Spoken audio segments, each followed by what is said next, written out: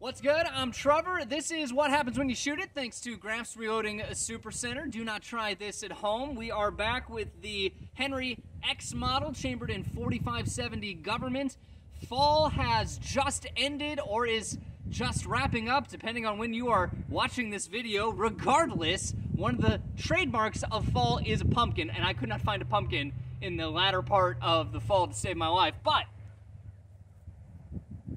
squash, the butternut variety. Let's find out what happens when we shoot this.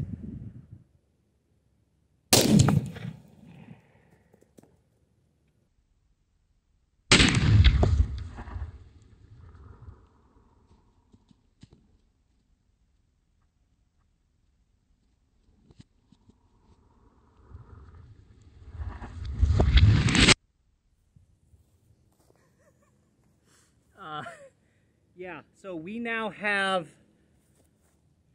a half of a, of a butternut squash. It has been squashed.